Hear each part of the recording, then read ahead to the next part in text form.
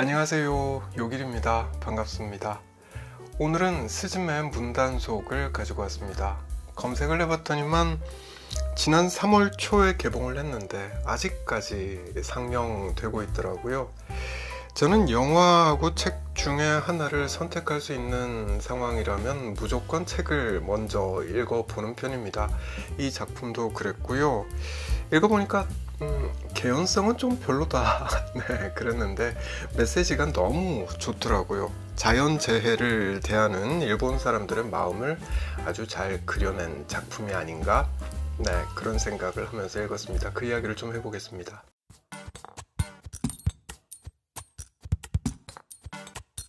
신카이 마코토 감독의 작품이죠. 이분이 38살 때 그러니까 2011년이었는데 그때 3월 11일에 동일본 대지진이 발생했죠. 작가 후기를 보면 이렇게 쓰고 있습니다. 그 일이 내 40대를 관통하는 그러니까 일상을 지배하는 선율이 되었다. 이렇게 쓰고 있습니다. 말은 되게 예쁘게 했는데 어, 달리 표현하자면 트라우마가 되었다. 네, 그렇게 말할 수 있는 거죠. 머릿속을 그 사건이 떠나질 않는 거예요. 일상을 지배하는 선율이 되어버린 거죠. 많은 일본인들에게 그랬지 않을까? 감독에게뿐 아니라 거의 대다수 일본인들에게 그랬지 않을까 싶어요. 왜? 어째서 이런 일이 생겼을까? 네, 그 질문을 끊임없이 했지 않을까 싶은 거죠. 우린 전부 다 현대사회를 살고 있습니다. 과학 문명이 꽤나 발전했다고 믿고 있어요. 지진의 원인도 알고 그에 대한 대처법도 어느 정도 세웠다라고 생각을 하고 살고 있었던 거예요. 근데도 대지진이 발생하니까 인간은 너무나 초라하더라. 네, 그 생각을 할 수 있는 거죠. 자, 그리고 왜 그 사람이 죽었을까? 왜 그 사람이 죽었을까? 내가 아니라. 네, 그런 생각도 이어서 해보게 됐을 겁니다. 이 운명의 장난 같은 일이 그에게는 발생하고 나에게는 발생하지 않았던 이유가 뭘까 이런 생각을 하게 됐을 것이고 또 이대로 끝인가? 이대로 도망칠 수 있을까? 그 생각도 했을 거예요. 집이 무너지고 땅이 갈라지고 해일이 발생해서 덮치고 네. 그 상황을 직접적으로 혹은 간접적으로 일본인들이 경험을 한 거죠. 그러면서 생각한 겁니다. 자 이제 끝나는 건가? 이번엔 도망칠 수 있을까? 네, 그런 생각을 하게 됐던 거죠. 이어지는 질문일 텐데 계속 모르는 척 살 수 있을까? 이 생각도 했겠죠. 달리 표현하자면 어떻게 해야 되지? 네. 이렇게 되는 거죠. 앞으로도 또 이런 일이 생길 수 있기 때문에 이런 질문을 하게 되는 겁니다. 어떻게 해야 되지? 그리고 이런 질문을 하게 되는 이유는 두렵기 때문이죠. 언제 또 이런 일이 닥칠지 모릅니다. 그러니 두렵죠. 그래서 어떻게 해야 되지? 이렇게 생각하는 거죠. 이런 두려움이 일본인들의 무의식의 한켠에 자리를 잡고 있지 않았을까라는 생각을 하게 됩니다. 그러니 자연재해의 원인을 밝히고 대책을 좀 잘 세워보고 싶을 텐데 근데 이게 마음대로 안 되죠. 이게 인간이 할 수 있는 일의 범위를 좀 뛰어넘습니다. 왜 지진이 발생하는지 자연재해가 왜 생기는지 알긴 해요. 근데 충분히 이해하지 못하고 있는 상태이고 대책을 세운다고 세우긴 했습니다. 심지어는 훈련도 하죠. 지진이 발생하면 이렇게 이렇게 해야 돼 라면서 훈련을 하기는 하는데 근데 충분히 대처하지는 못하죠. 그렇습니다. 그러니 동일본 대지진 같은 아주 큰 재해가 발생했을 때 그렇게 많은 사람들이 희생될 수밖에 없는 거죠. 자, 이 소설은 이렇게 인간이 감히 범접할 수 없는 영역의 이야기를 다루고 있습니다.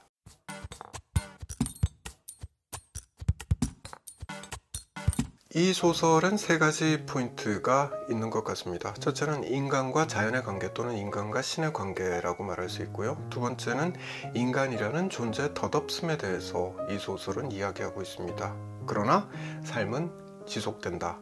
네, 이게 세 번째일 텐데 삶의 지속성에 대해서도 이야기하고 있습니다. 하나씩 살펴보겠습니다. 먼저 인간과 자연의 관계. 아마 수많은 일본인들이 동일본 대지진 같은 아주 큰 재해를 겪으면서 그 충격으로 트라우마를 안게 됐을 겁니다. 소타가 돌려드립니다 라면서 신에게 읊조리는 말들이 있죠. 어, 아마도 일본인들이 갖고 있는 아주 진심 어린 마음, 자연을 대하는 진심 어린 마음이 그 돌려드립니다 라면서 소타가 읊조리는 말 속에 담겨 있는 것 같습니다. 자연을 대하는 그들의 진심 어린 마음 이걸 한마디로 요약하자면 경외감이 될 겁니다.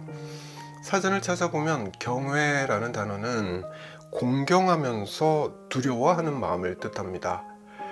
네, 자연재 앞에서 인간이 얼마나 작고 부질없는 존재인지를 알게 되니까 인간은 자연을 공경하게 되는 거죠.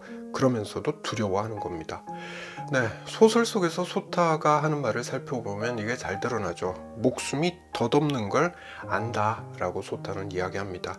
그렇죠. 그렇게 한순간에 그렇게 많은 사람들이 사라져버린 거잖아요. 그날 하필 그런 지진이 생겼던 거고 또 해일이 덮쳤던 거고 그래서 부모가 아내가 남편이 자식들이 혹은 형제자매가 그렇게 속절없이 사라져버린 거죠. 음, 그렇게 덧없이 사라질 줄 누가 알았겠습니까? 그러니 아는 거죠. 죽음이 항상 곁에 있다는 걸 안다 라고 소타는 말하고 있습니다. 인간과 신의 관계, 인간과 자연의 관계가 이렇다 보니까 인간은 신 앞에, 인간은 자연 앞에 엎드리게 되는 거죠. 이어지는 이야기일 텐데 인간은 신 앞에 인간은 자연 앞에 엎드리게 됩니다. 경외심을 이렇게 표현하는 거죠. 이때 인간은 덧없음을 느끼게 됩니다. 존재 덧없음을 느끼게 되는 거예요. 그리고 두렵습니다. 내가 어찌 될지 모르니까 두려운 거죠. 당연한 거죠. 스즈메가 그랬습니다. 엄마가 돌아가셨다는 걸 스즈메는 알죠. 본능적으로 압니다. 어린 나이지만 4살 때 엄마가 돌아가셨는데 이걸 본능적으로 알아요. 그래도 찾아다니죠. 그리고는 일기장을 검게 칠합니다. 이런 날이 반복되는 거예요. 두렵기 때문에 그랬던 거죠. 스즈메, 어린 스즈메는 두려워서 그랬던 거예요. 엄마가 없이 내일을 살아가야 되는 것에 대한 두려움을 스즈메는 가지고 있었던 겁니다. 스즈메뿐 아니라 모든 사람들이 두렵기는 매 한 가지죠. 자연 앞에서 인간은 두렵습니다. 대자연 앞에서 인간은 작기만한 존재이기 때문에 그렇습니다. 우리가 마치 자연을 정복한 듯이 자신만만하게 살아가고 있습니다. 보기에 따라서는 그렇죠. 근데 정작 우린 정말 자연 앞에서는 아무것도 아니라는 거 이런 걸 자연 재해를 볼 때마다 느끼게 되는 거죠. 앞으로는 아마 자연에 대한 두려움이 더 커지게 되지 않을까? 음, 이런 생각도 이 책 보면서 하게 되더라고요. 지구 온난화 문제를 벌써 우리는 아주 심각하게 이야기하고 있습니다. 이상 기후 현상이 자주 나타나고 있기 때문에 그렇죠. 조만간 지구 평균 기온이 1.5도 기준점을 넘게 될 거라는 기사도 쉽게 찾아볼 수 있습니다. 그렇게 되면 가뭄, 폭염, 폭우가 일상화된다라고 하죠. 이젠 우리에게도 한반도에 살고 있는 우리에게도 이상 기후 현상이 일상화될 수 있다라는 뜻입니다. 그러니 우리도 재난의 시대를 살아가게 될 수 있다라는 걸 이 책을 보면서 알게 되는 거죠. 그러니 두려운 거죠. 네, 그럼에도 삶은 계속됩니다. 수많은 사람들이 죽었지만 우리네 삶은 지속되는 거죠. 덧없는 삶이지만 그리고 앞날에 대한 두려움이 무척이나 크지만 그래도 살아가게 되는 겁니다. 소타는 이 맥락에서 어, 신에게 이야기하죠. 살고 싶다 라고 이야기합니다.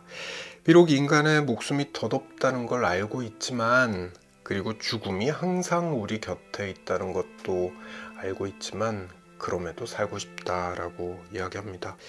자, 이게 참 역설적입니다. 인간이 부질없는 존재잖아요. 언제 죽을지 몰라요. 언제 죽을지 모르는 아주 부질없는 존재입니다. 그럼에도 살고 싶어 하는 거죠. 아마 인간이기 때문에 그런 게 아닌가. 이게 인간의 특징이 아닌가. 그런 생각도 해보게 돼요. 그러니 인간은 신 앞에 엎드리게 되는 거죠. 네. 그게 이유가 아닐까 싶어요. 스즈메 역시 마찬가지였습니다. 죽는 게 두렵지 않다라고 말을 했죠 처음엔 근데 바뀌죠 왜? 소타를 만났으니까 삶의 이유가 생기면 이렇게 사람은 바뀌게 되는 거죠. 누구나 각각의 이유로 삶을 지속해야 될 명분을 찾게 됩니다. 그리고 그들의 삶도 이렇게 이어져 나가게 되는 것 같습니다.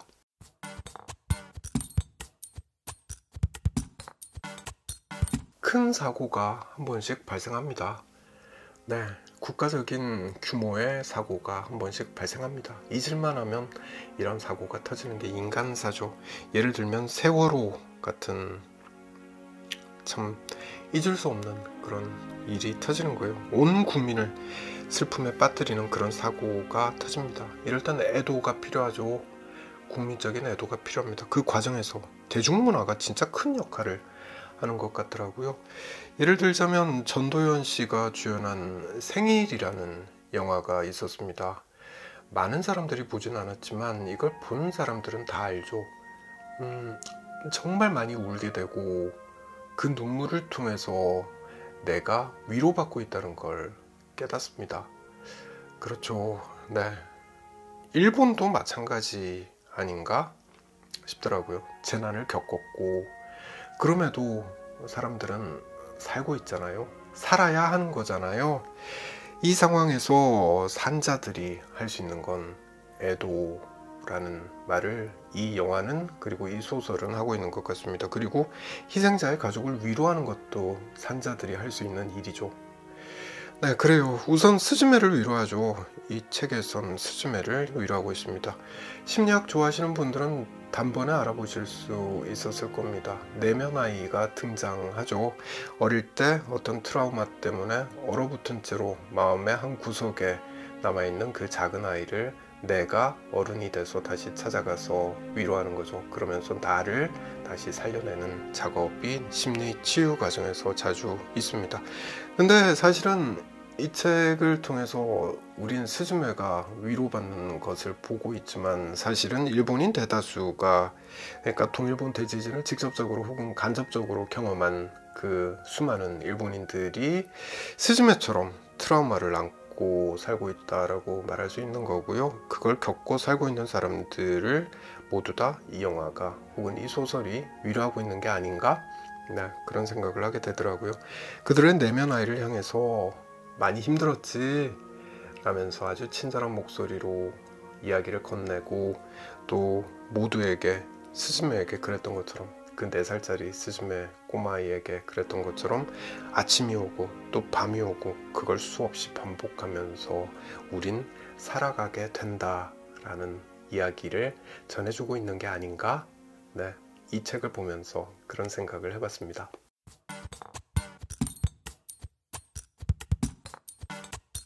스즈메 문단속이 소설은 개연성이 좀 부족한 것 같다라는 이야기를 했는데 뭐 사람마다 작품을 평가하는 기준은 다 다른 거니까요.